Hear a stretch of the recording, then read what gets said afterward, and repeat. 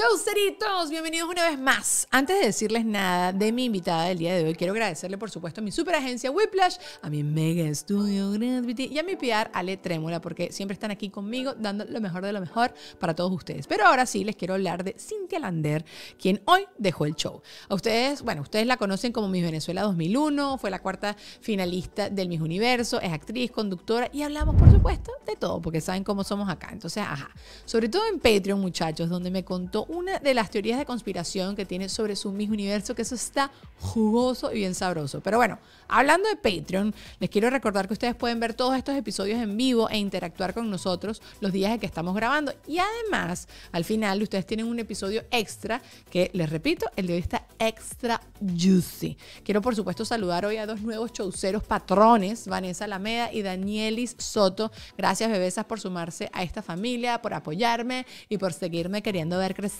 ¿sabes? Y bueno, si ustedes que están escuchando o viendo esto también quieren unirse a la familia chaucera, el link, por supuesto, está acá abajo en la descripción. Ahora sí, comencemos.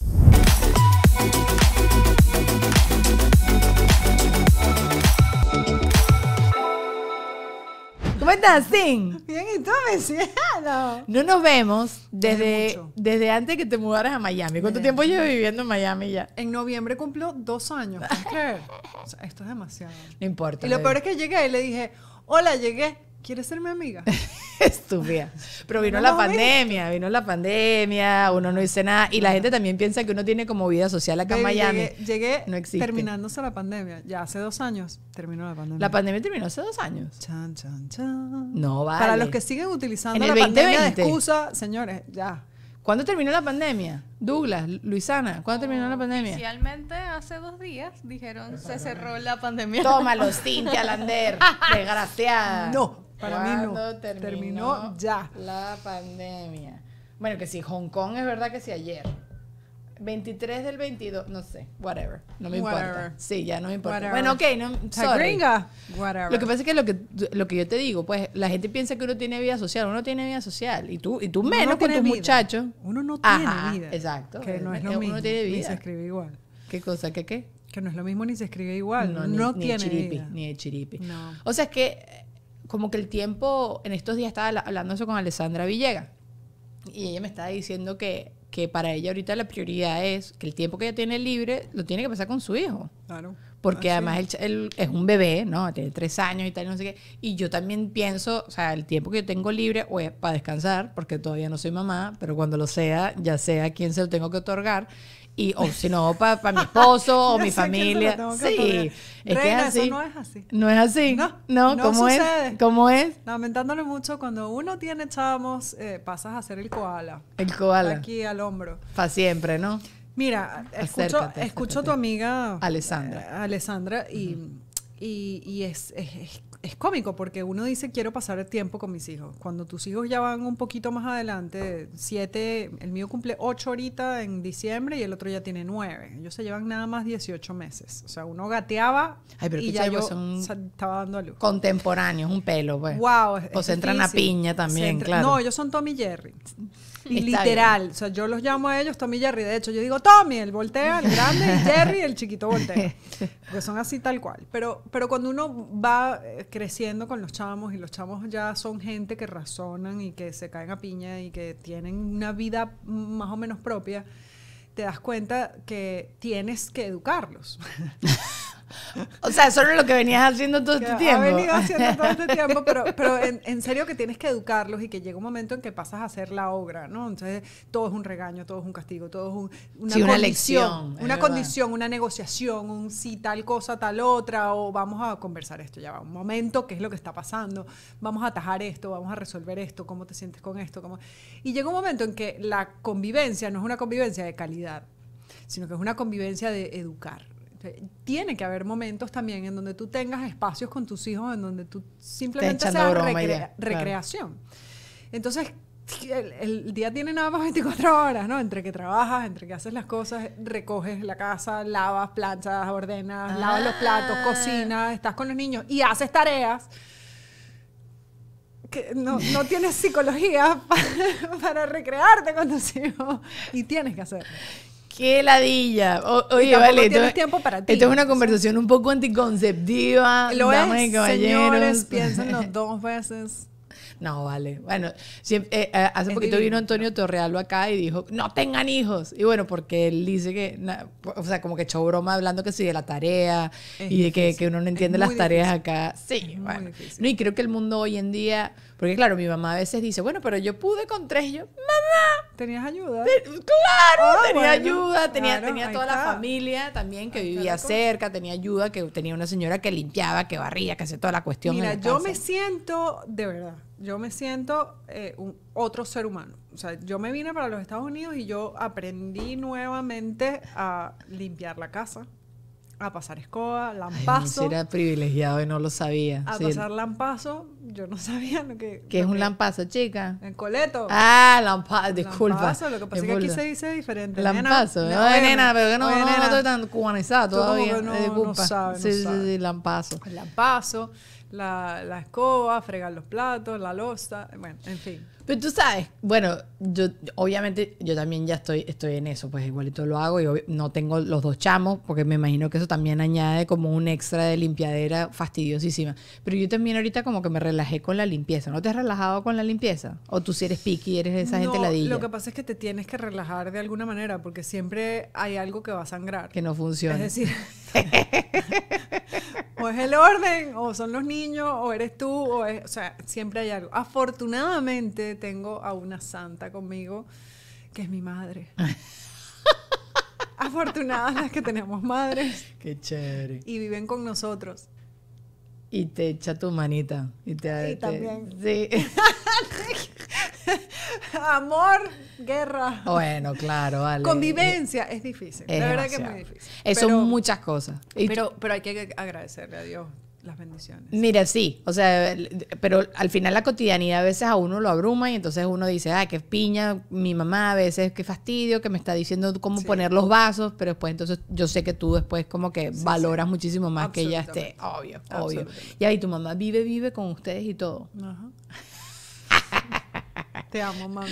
No, no, yo en pandemia mi mamá se quedó con nosotros y no- de verdad que nuestras mamás, mm, yo, bueno, claro, cuando es tu mamá no, no es tan complicado. Es que es, ¿eh? que es mucho cacique para poco indio. Es- Entonces, uno llega como que, "Bueno, ay, ¿cómo manejamos esto? Vamos, vamos a cambiar de tema y vamos a hablar de otra cosa antes de que Cintia se meta eh, favor. en un problema. Sí, sí, sí, estamos llegando a los colores rojos. A los colores rojos. Estábamos hablando igualito antes de arrancar un poquito acerca de quién eh, fue como una gran influencia en la vida y yo le estaba contando a Cintia que para mí fue mi hermana. Y verdad que no es como una cuestión de jalete, sino que mi hermana como que yo veía cómo ella se vestía, qué música ella escuchaba y era mi punto de partida. Y me, ahorita como hablando contigo, pongo a pensar que, que, que importante es uno tener como puntos de partida para uno Para todo. Sí, ¿verdad? Como Sí. que tú decir, me gusta esto que le gusta a esta persona. No, definitivamente no me gusta esto, esto esa persona. Y que también sea una buena influencia. Porque que, que, que chivo que te den puros puntos de partida de puras cosas malas. ¿Tú te Correcto. acuerdas de alguien así en especial? Quizás un profesor, un amigo, algo así. Bueno, a lo largo de mi vida he tenido varios, Ok. varias, varios personajes. Tú sabes que yo los he llamado a lo largo de mi vida lianas emocionales. ¿no? Ok. Eh, son esas, esas personas de las que te agarras, te apalancas, te, te empujas hacia donde quieres llegar y de pronto hasta que no tienes otra como más o menos segura no, no sueltas. No suelta, sí. Eh, esas lianas emocionales para mí han sido personas claves, además, eh, que han estado conmigo a lo largo del tiempo, que, han, que han- me han acompañado. Quizás a veces he sido yo liana de ellos.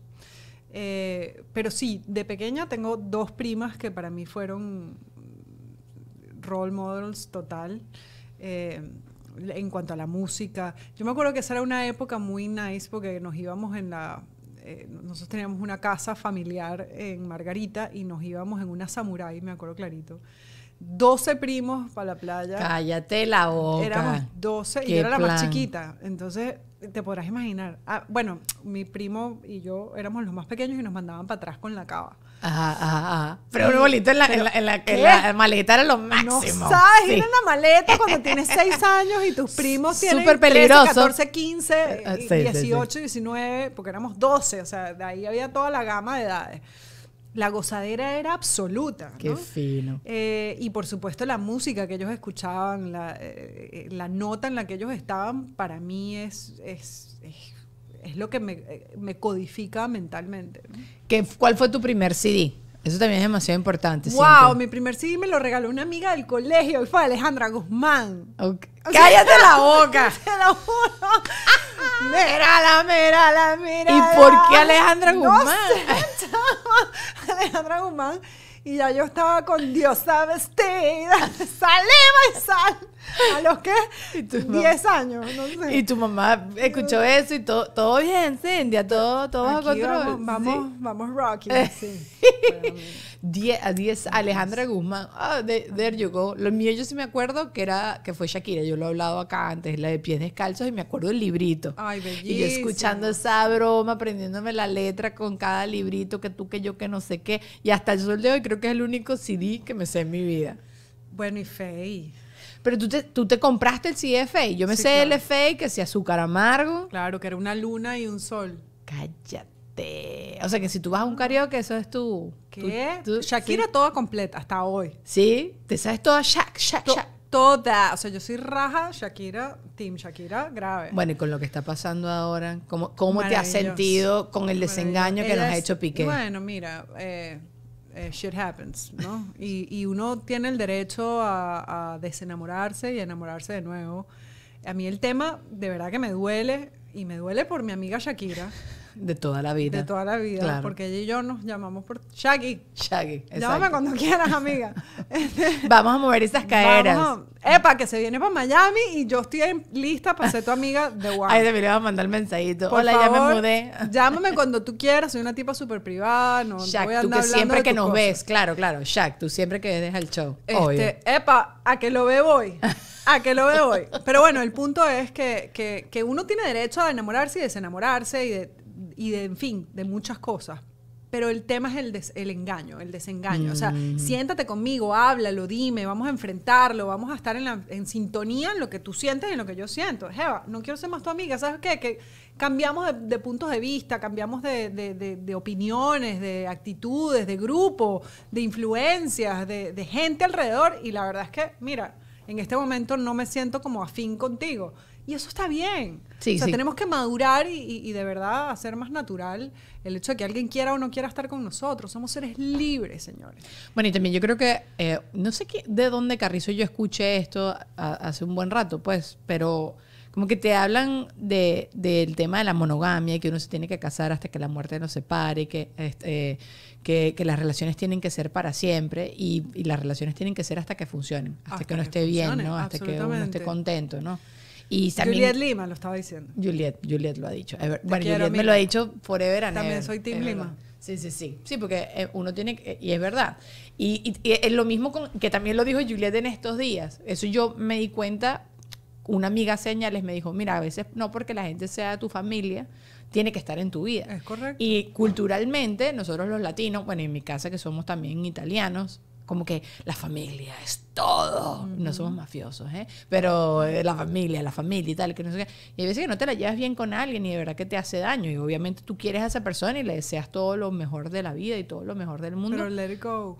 Claro, o sea, no, no, exacto, no, no la, no la, no estés forzando ahí una relación que no se va a dar no y que te hace daño. que hace daño, Que sí. ahí uno ahí pushy pushy. arrastrando cosas. Ya la vida es difícil sola. O sea, no, no, no, no nos montemos sacos de piedras en la espalda. Suéltalo. Suéltalo, bebé, suéltalo. Yo, libre. estamos grabando esto y ¿Ah, sí? si está recién, recién pasado lo de... No, este, era- este era nada más el calentamiento, Cintia. No habíamos empezado a grabar. No, pero está- lo que quería comentar es que también pasó lo de Adam Levine.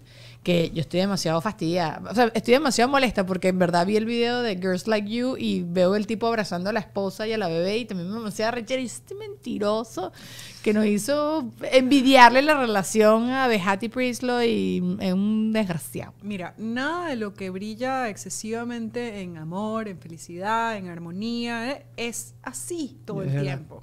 Todos tenemos altos y bajos. Cierto. La madurez de una relación está en saber que las caídas hay que atajarlas y que hay que manejarlas y que precisamente el amor, el amor, la gente cree que el amor es, ay, me enamoré de estas mariposas en el estómago, este en- encuentro, lo que no puedo vivir sin ti.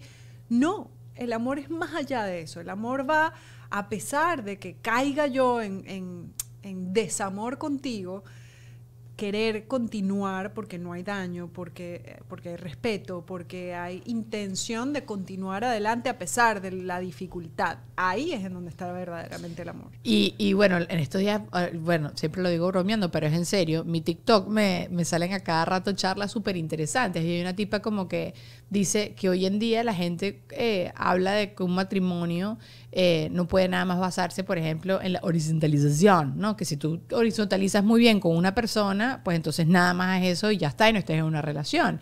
Que la relación es, una, es un constante trabajo, que las relaciones no es una cosa como que surge, sino es como una, un constante darle, ¿no? Que toda la vida hemos escuchado eso de "Da, echarle agua a la plantita. Bueno, pues sí es así. Sí es así porque uno dice, bueno, no, ya, me casé, En la me relajo. horizontalidad, ¿quieres decir en una sola dirección o en la cama? En la cama. Ah. En la horizontalización. Cuando estás horizontalizándote con alguien, Cintia. Estoy Ay, tratando pero de ser elegante. horizontalizar. Tienes que decirlo como, como como horizon- horizontalizar. Sí, la, la horizontalización es- es rica. es algo que yo recuerdo siendo muy, muy rico. Se- eh, ¿Lo recuerdas? Hace muchos años. Lo recuerdo. Eso suena. Pero tampoco vamos a entrar ahí. No, no vamos a entrar ahí tampoco. No, pero lo que me refiero es que hay gente que nah, eh, se mete en el paquete de casarse o algo así solo, Solo por- pensando por eso. porque eso funciona. Mm, no, los matrimonios, los matrimonios, eh, pues hay momentos como en todas relaciones en donde eso baja. Y, y si tú basas una relación simplemente en el, en el sexo, eso no, no perdura. Eso no O sea, Ahí no hay, ahí no va a haber, no va a haber eh, futuro. A Yo también creo, yo también creo. O sea, son muchísimas cosas. Y, y emocionalmente uno tiene que estar como en la misma página. Yo ahorita estoy como en una onda de hacer todo, absolutamente todos los cursos habidos y por haber en la vida, de, de- de cómo mejorar mis relaciones a todo nivel, ¿no? No solo con, con mi esposo, sino amistades y todo eso. Y una de las cosas es como la honestidad Uf, sí. de que... Que, Sí, sí, sí, que uno, yo siempre he pensado que yo soy súper honesta, pero hay cosas que yo pienso, hay cosas que yo siento, hay cosas que yo digo, mejor esto no lo digo ahora, porque en este me puede generar un problema que es innecesario, ¿sabes? ¿Qué sé yo? Este, y no, ahorita estoy como optando un poquito por eso, y en verdad es como liberador cuando tú también explicas, eh, mira, te estoy contando esto por esto y por esto. O sea, por ejemplo, lo que tú me decías con, con las amistades. Me pasó con una amiga que a mí me pica todavía demasiado, Cintia. Yo estoy vieja, pero todavía estas cosas me pican. Cuando mis amigas hacen cosas y no me invitan, me demasiada rechera. Ah, tengo posgrado, Sí, eh. tienes un posgrado. Tú también eres así. ¿Qué signo eres tú? Porque Posgrado. quizás eso es una cosa de signos. Eh, yo soy Géminis. No, no sé, no somos, no Pero somos. no, no no, es, no somos. es cuestión de eso, es cuestión de otras cosas. Es cuestión de que te pica y ya también. ¿Te pica o no te pica? No, sí, me- no, más que picarme me duele. O sea, me Eso. siento left out. Ajá, y ajá, cuando ajá. te sientes left out y sola, es como, uh, Sí. Es como- Y lo dices, pero lo dices bonito y lo dices sin, porque ahorita estoy aprendiendo a decirlo, bueno, sabes, me hubiese gustado que me invitaras. Y ya, no, no formo peo, no, no, No, regaño, no, no- yo no grito, no peo. peleo, pero es así como que, oye, sabes, me asusta que me invitaras. Entonces, no, ya ajá. yo ni, ni digo, yo simplemente me manejo yo. Sí. Me trabajo yo, claro. Bueno, yo tengo mi Tengo posgrado, reina. A mí me dice mi, mi- o sea, me ha dicho mi psicóloga, me ha dicho mi coach, toda la gente como que ellos se lo pierden. Entonces yo trato de secarme las lágrimas, ellos se lo pierden. Y eso es lo que trato Al de espejo. Sí, sí, sí. Daniela, y me toco sé. así la cara en el espejo. Eres demasiado perfecta. Ellos no lo saben. No, ¿no? este, yo, yo trabajo, yo trabajo mis pesares, ¿no? Eh, porque he acumulado muchos y, y- y uno, uno termina como diciendo, bueno, es que, es que lo que el otro hace no es lo que el otro la- hace, es lo que yo siento con respecto a lo que el otro hace. Cuando tomas responsabilidad de tus sentimientos, más allá de las acciones de los demás, eh, logras entender cuáles son las decisiones que tú quieres tomar y hacia dónde quieres ir y cómo te quieres sentir con respecto al otro y tomas decisiones que también van modificando al otro, porque cuando el otro ve tu reacción, que es pacifista, que es eh, en amor y en respeto, simplemente que yo no quiero o no acepto o no, no quiero eh, seguirme exponiendo de esa manera, pues entonces el otro modifica su conducta. Y es mágico, es mágico ver cómo, cómo se reengancha o, o renace el amor de, de una manera diferente. Y digo amor no, no porque sea de pareja, de pareja, sino, sí, sí, sí. sino hay amores De, de amistades, sí, sí, sí, sí, de- familia, lo que sea. de afinidades, Sí, sí, sí. etcétera. Ay, no, pero tú eres más madura que yo, Cintia. Yo no soy tan madura. Es que, bueno, Lo has trabajado, sí. Pero ¿por qué? ¿Eres muy pasional? O sea, con estas cosas. ¿O tú tienes una amiga muy mierda?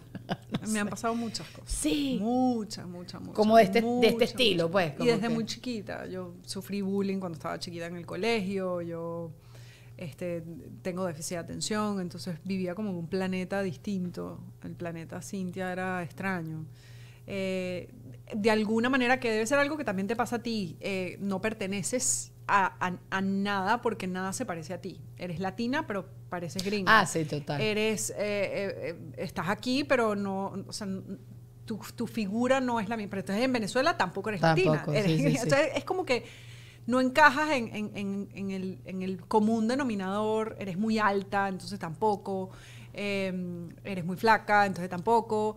Eh, hay, hay ciertas cosas que te sacan de la norma y cuando te sacan de la norma, entonces eres bicho raro, cuando eres bicho raro, entonces es como, ya va el left out de las amigas, por ejemplo, yo llegaba un día al colegio y me escuchaba de la rumba que se habían lanzado, del cine, de la fiesta, y yo, y cónchale, ¿por qué no me.? Ay, no, chama, es que tú te levantas a todo el mundo, no queremos estar contigo.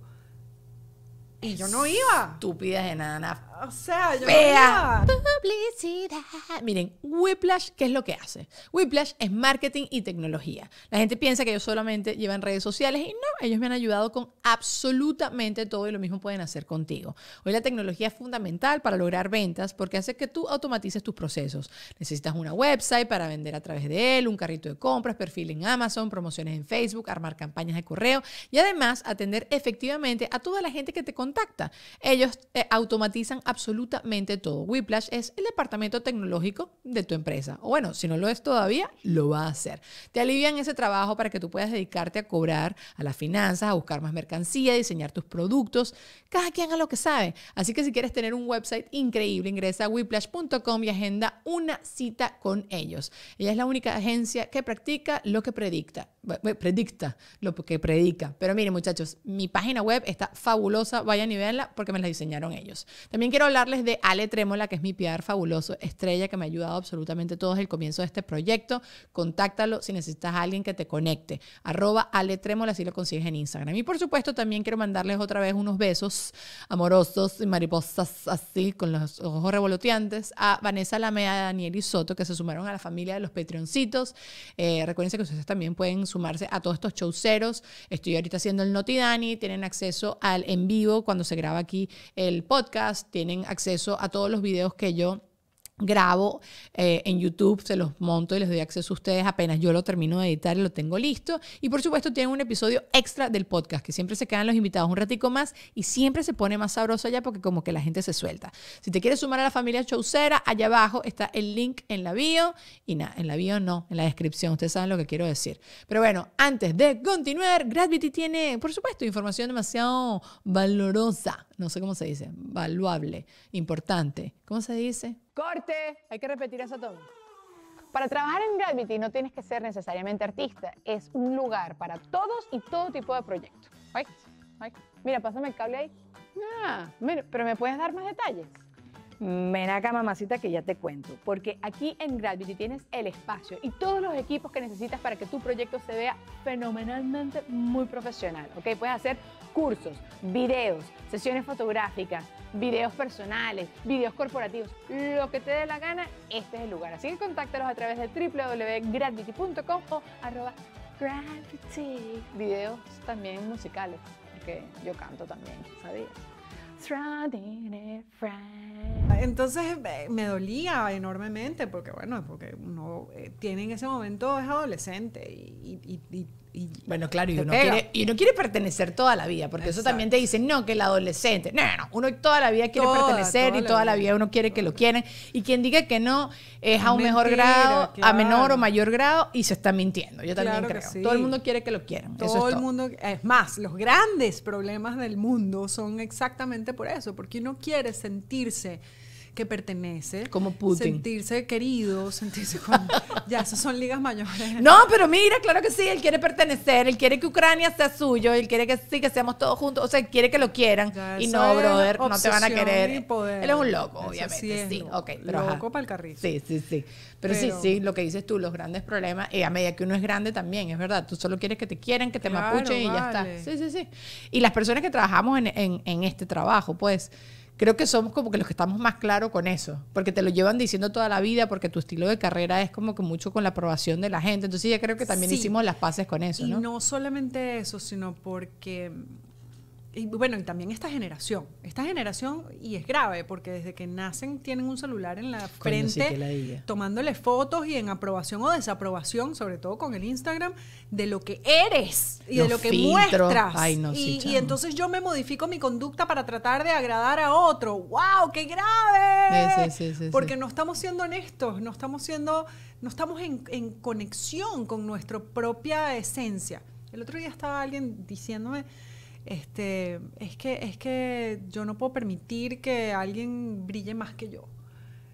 Y yo decía, wow, qué fuerte ¿Quién te comentario. está, primero que te está diciendo eso, que, que- N- no importa. No, no, no, claro, pero que, que te tiene que tener mucha confianza. Sí, sí. Ah, ok, pero, ok, ok, ok. Pero, o sea, me decía, es que, es que en el trabajo yo no puedo permitir que alguien como que se destaque más que yo porque siento que, que- que pierdo la- el piso. Claro, y hoy en día los trabajos se han dedicado a generarnos esa inestabilidad, que eres suplantable en cualquier momento. So, entiendo de dónde viene, ok. Entonces yo, yo le decía, mira, los talentos de cada quien son intrínsecos a cada quien. Claro. Y tú cuando, cuando ves un estadio, un, un foro, un, un estadio gigante de, de béisbol, vamos a ponerlo así, eh, tiene distintos focos, ¿verdad? Pero cada farol, cada gran panel de, de luces tiene varios bombillos. No es uno solo el que brilla, son muchos bombillos apuntando en una misma dirección los que logran que salga ese trabajo, que salga eso a la luz. Somos muchos los que hacemos algo mejor y tú tienes tu propia luz y yo Claro. tengo la mía. Si yo me pongo a competir contigo, no vamos a llegar a ninguna Y parte. te voy a ganar, sí. No, mentira. ¿De qué? No, no, no, no me hubiese ganado tú en lo que sea, te seguro. no yo me me importa, rindo. yo te, te veo y me rindo. yo y me te dejo ganar. No, no, no, no, me Porque- volteo y me rindo. Porque es que yo no, o sea, eh, la competencia en ese sentido para mí no va. Yo creo que nosotros en amor y en y, y juntas hacemos muchísimo más. Estoy de acuerdo. Y hay, y hay, y hay luz para todo el mundo. Uf. Hay- o sea, hay oportunidades para todo el mundo y también sí creo que lo que está para ti es para ti. O sea, si te das cuenta de... el otro- y también lo hablaba con Alessandra estos días que tuvimos una conversación muy Coño, ¿la larga. estás queriendo Sí, más sí. que a mí? No, jamás. Las quiero a todas. Hay amor para todas. Hay luz para todas. Hay un foco out. para todas. No, I no, feel no. left out. Es que fuimos a un evento ahí, entonces estuvimos ahí sentadas. Ah, que no me invitaron. No te invité, exactamente. Sí. La invitación. O sea, en Todo verdad sí me pasa, eh, en verdad sí me pasó en ese evento que me mandaron la invitación, nunca la vi. Y yo dije, no fui requerida. Daniela, ¿estás segura? Y revisé mi mail y estaba, pero no había confirmado. Fue todo muy Un bello. desastre. Sí, bueno, no Ah, importa. Ya la gente ya me sabe cómo soy. No pasa nada, no pasa nada. Y no me acuerdo que te estaba diciendo. Ah, bueno, que ella decía que, que eh, y es verdad, aquí en Miami no son tantas las oportunidades de trabajo para lo que nosotras hacemos, este, pero si te das cuenta que si algo está hecho para ti, está hecho para ti. Es correcto. O sea, te va a llegar de una forma u otra y también porque tú se lo estás pidiendo al universo, ¿sabes? Como que yo sí creo que todas esas cosas se tienen que alinear y no solo para nuestro trabajo, sino que creo que en todo.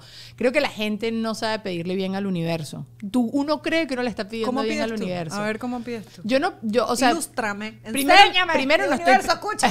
primero no, no, no, o sea, creo, creo es como exponer tu deseo. Por ejemplo, yo ahorita tengo mucho rato, todo el mundo sabe mi, mi lucha de buscar una casita.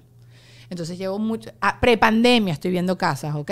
Y estúpida no la compré y ahorita, o sea, una casita que antes te costaba tanto, ahorita cuesta El doble. el doble, cuidado. Ajá. Este, y también a mí para que me den un préstamo por ser independiente es todo un rollo, bueno, todo un cuento y todo largo, pin que pan que no sé qué. Entonces yo digo, bueno, universo, quiero una casita que tenga por lo menos tres cuartos, que tenga por lo menos dos baños, que tenga este patio, que tenga mucha luz, bla, bla, bla, porque además he aprendido en toda esta experiencia de estos dos últimos años que he estado viviendo en una casita, tacaracatá. Pero entonces después estoy en mi casa actual y digo, qué ladilla vivir en una casa porque hay que sacar la basura. Entonces, el universo también te escuchó eso. Entonces, ah, no, entonces la Jeva no quiere una casa. Entonces no le voy a dar una casa. Entonces uno no se da cuenta de esto. Uno dice, ah, cuando uno estaba buscando pareja, quiere un tipo que sea así, asado, así, asado, no sé qué, bla, bla, bla, no sé qué. Y de repente te cruzas a alguien que tiene una de esas características y entonces quizás, o sea, como que yo creo mucho en eso, creo mucho en la energía y creo en ese Pero tipo de cosas. pueden ser autosabotajes, sabotajes, autosabotajes. Es decir, el tipo, por ejemplo, con el tema de la casa también, pero, pero con el tipo uno lo ve como más claro. Eh, sí, yo lo quiero así, así, asado, pero entonces cuando viene, ah, no, pero yo lo Ah, sí, quería, vale yo no lo quería rubio, yo lo quería moreno. Este, porque, porque vas buscándole defectos a todos, ¿no? Un poco porque, porque en realidad lo que tienes miedo es a otra cosa. Sí. Quizás al compromiso, quizás Sí. porque no estás lista, quizás porque, epa, te llegó, llamaste tanto al lobo que llegó y de repente dices, Sí, sí a todo. sí a todo. bueno, eh, lo mismo con una casa, tal cual, es lo que estás diciendo, pues, como que tú dices, eh, yo creo que siempre tenemos mucho miedo. Tenemos mucho miedo al cambio y la gente como que no. ¿Tú sabes no. qué me pasó a mí? Hablando de, de- de estas cosas, eh, yo estaba buscando bebé como loca. Busqué y busqué y busqué y no salí embarazada y yo, ¡no vas a salir embarazada! Que Tienes busqué- ocho busqué meses mes. buscando. Ah, ocho No, meses. Ok, pasé sí, ocho eso meses sí. buscando bebé y, y no llegaba. Y mm, el día que salí embarazada, el día que tenía el, el, el- El test, el ajá. test en la mano, fue así como... O sea, sentí que tenía 16 años y me metieron a pata. O sea, fue así como... como que, no, ya va, espérate. ¿Qué es? No, ¿qué es esto? Y, y sí, eh, estaba Claro. embarazada. Entonces, eh, eh, son esas cosas que tú dices, bueno, es algo que deseas tanto, pero cuando, en el momento que te llega dices, Sí, va. sí, sí, sí. No sabes manejarlo. No sé, es un cúmulo de emociones. ¿Tú qué opinas, Lulu? Cuando te llegan buenas noticias, buenas o malas noticias, porque Sí, uno no es que, con el ¿sabes cambio, pues. estaba- estaban hablando de eso y me di cuenta que uno también llama lo negativo, porque una vez comienza como que con los miedos de no, no, porque me va a pasar esto y me van a estafar y tal, no sé qué, y cuando haces así, las cosas terminan pasando. Yo no sé qué, ¿será que llamé también esa situación? O sea, como que me preocupé demasiado. Más en lugar como de enfocarme en lo que sí puedo controlar, que me termina pasando primero lo negativo que lo positivo. O sea, Mm, Sí, Tú sabes que esta chama, eh, la de los miedos. Eh, ah, Michelle. mi- sí, pero el, el libro de ella, eh, Eh, Michelle, Michelle Poller, pues, pero ¿cómo se llama 100 su libro? Fears, algo de Ay, lo de los miedos. Ay, ya me voy a acordar. Pero bueno, ella, ella dice que, que nosotras decimos mucho como que qué es lo peor que puede pasar. Ajá. Y ella dice, pero porque tú no te planteas qué es lo mejor que... ¿Cómo es? Puede. Hello Fears. Daniela, qué burra, no sé. Cuál- Hello Fears. Ajá.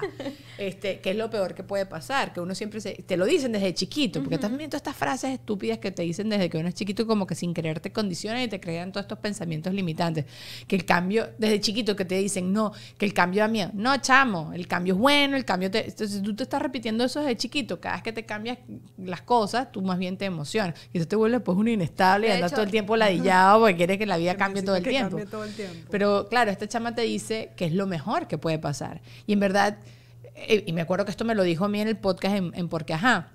Y dice, casi nunca todas las cosas horrendas que tú piensas del peor panorama va a pasar. O sea, si tú piensas 10 cosas malas, quizás pasa una, pero no van a pasar las 10. Nunca pasan las 10. Correcto. Y es verdad. O sea, tú piensas lo peor que te ha pasado a ti en la vida, o bueno, no, porque eso es un poco extremo, pero te ha la- las cosas que tú has tenido mucho miedo, que has tenido muchas cosas a, a- a- a juego, quizás pasó una cosa mala, quizás se te rompió el tacón en el Miss Venezuela, quizás, pero igual te ganaste la corona. Entonces, ajá, ¿sabes? Como que de todas las cosas malas que pudieron pasar, quizás solo te Pasó pasó una. Entonces, como que uno tiene que aferrarse más a eso y como que tener más fe. Es que incluso nos dicen mucho como prepárate para lo peor, pero ¿cuántas veces nos han dicho prepárate para lo mejor? Nunca. O sea, ven, nunca. Nunca. y, y- y- y creo que también eso es una forma de que los papás nos protegían. Eso es la típica, como que, pero esta carrera es muy difícil, no te metas a hacer esto porque no tienes tu plan B y tal y no sé qué. Y es, una, es ellos tratando de protegerte. Pero las cosas también pueden Pero salir también bien. parte de- son miedos heredados. Eso, eso Ah, no, ya- total. De, de abuelos, tatarabuelos, Sí. todo el mundo, sí. La Sí. cosa es como uno romper los 800 mil patrones que no, se- no nos alcanza la vida. Todos. Pero, pero bueno, se intenta. Sí. Soltar y ser. Simplemente. A ver, recibir las cosas Entrégate. a medida que van viniendo.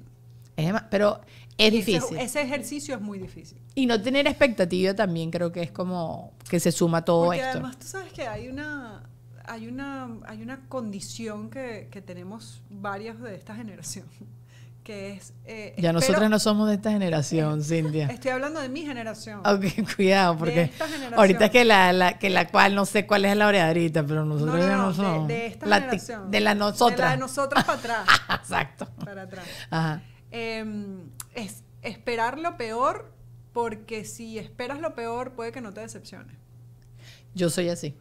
Tal cual. Entonces, en cambio, si, si te sorprende a positivo, dices, ¡Ah, no me lo esperaba, Sí, qué sí, maravilla. Pero si no, ah, yo sabía. Yo sabía. Eh, esa sensación, eh, bueno, eso te deja como que una sensación a salvo porque es lo conocido. Pero ¿qué tal si rompemos eso y si nos atrevemos? Acércate. ¿Qué tal si rompemos eso y nos atrevemos a, a vivir, En plenitud, entregado al momento full. epa, y en la sorpresa de que el universo te realmente sorprenda a positivo? Y aprender de lo negativo, entre comillas, que te suceda, ¿no? Todo es un aprendizaje. Entonces, si soltamos eso y olvidamos, abandonando, de verdad renunciando a ese pensamiento de vamos a esperar lo peor para que la vida me sorprenda con lo mejor. No, ¿por qué? Vamos a, vamos a ver qué trae universo. Dale. Mariqui. Claro que sí. Bueno, yo, yo peco de eso. Yo peco mucho de eso, en todo. también. O sea, como que siempre estoy preparada para el peor panorama, por si acaso, pues para que no me agarre con las pantaletas abajo. Y la cosa es que sí, sin querer tú te estás saboteando todo el tiempo. Total. Y es una piña porque entonces no vives nada a plenitud, sino que vives Total. todo el tiempo como un poco así frenada y qué fastidio. Pero bueno, tú sabes que en estos días me puse a jugar con mi esposo, vi una película terrible, no la vayan a ver, está es Tilda Swinton con Idris Elba, que Idris Elba es un genio, y te la venden la típica que hacen ahora, ¿no? Te la venden que es una comedia en el, en el trailer y después vas a ver la película y tú dices, ¿qué Yo porquería es esta vaina? Sí, o sea, no quiero, quiero salir de esta hora. No, estás todo el tiempo en la película esperando como que ya viene lo mejor. Ya viene lo mejor. Y tú, esta vaina nunca, nunca me sacó una sonrisa, pero bueno. Y era el tema de los tres deseos y tal, whatever, la típica de los tres deseos. Pero claro, la, la típica tres deseos de todo el mundo es plata. Eh, ¿Qué otra cosa? No me acuerdo cuáles son las típicas. Pero estos son, eh, entonces nos pusimos a jugar como que tres deseos, pero que sean unas vainas como burda locas. Que se, se te ocurre algo. Algo loco, algo como que no lo típico. Supongamos que la plata ya la tienes, supongamos que ya tienes la salud, supongamos que Ya tienes el amor. ya tienes el amor. Pero el amor, acuérdate que siempre decían que no lo podías eh, pedir porque Según como que tú no podías doblegar, según Aladino, como que no puedes doblegar el, el libre, Libre albedrío albedrío de la persona. Entonces, Ni traer a nadie a, a muertos. eh, ¿cómo ni a muertos, exacto. muertos. Puedes resucitar a nadie, no puedes hacer que nada así de amor y no me acuerdo cuál era la otra. Eran como tres condiciones. Más allá de eso, ¿qué se te ocurre de deseo? Hmm. Y uno no lo tiene claro. Y el otro día también. Tener superpoderes. Ok, ¿cuál sería tu primer superpoder? Porque esa era otra que te iba a preguntar. Volar.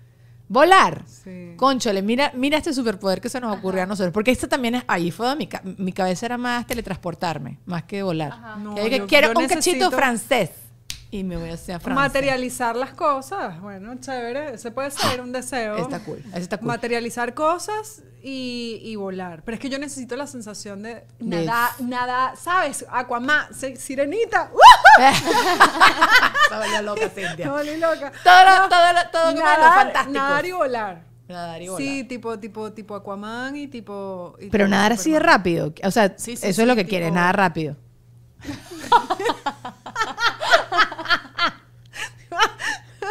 Yo voy al lado tuyo remando, Pero todo si relajado. viste, si viste mi colita, ¿verdad? Eh, La vi, la vi, la vi, la vi. Te creció, mientras que hiciste eso, creció. Juan Ernesto me dijo, y de verdad es demasiado superpoder, me dijo que todo el mundo, como que yo le caiga tan bien a todo el mundo que todo el mundo quiera hacer lo que yo necesite y quiera y pida. Y yo, Qué cállate la boca. Estás loca, Cintia. No, que tú seas tan charming en la vida que tú dices... Ah, bueno, pero es que ya lo Hola, no, sí, pero yo- o sea, yo también, ¿sabes? Qué pajúa. Él me dice como que tú ¡Super vas a- actívense! Total. Qué estúpido eran esos superhéroes. En forma de cubeta de hielo. Yo nunca me voy a olvidar que los bichos querían ser un tobo. Coño, tu madre. En forma de cubeta de agua y la otra en forma de agua. Eso es, sí, es cubeta de hielo. Ajá. Cubeta de, de agua, exacto, un tobo y, Y la mujer agua. siempre era en forma de águila de roca ardiente. Y el tipo en forma de cubetas de agua. ¿Por qué? Qué pelabola. Era ¿Por muy qué? pelabola esos hermanos fantásticos. Por eso no han hecho película, porque es muy No. chismo como tú haces No, una no. película con eso. Pero ajá, él me decía, imagínate que tú vas a American Airlines y tú estás chequeándote para tu vuelo y tú eres tan charming que te pasa en la primera clase.